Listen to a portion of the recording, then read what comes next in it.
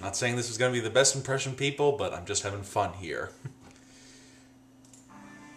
So, Tad you find Andy so proud, so cocksure, prancing about with your heads full of evils. Well, come and get me, I say. I'll be waiting for you with a heap and whip of brimstone. I'm a grim bloody fable with an unhappy bloody end.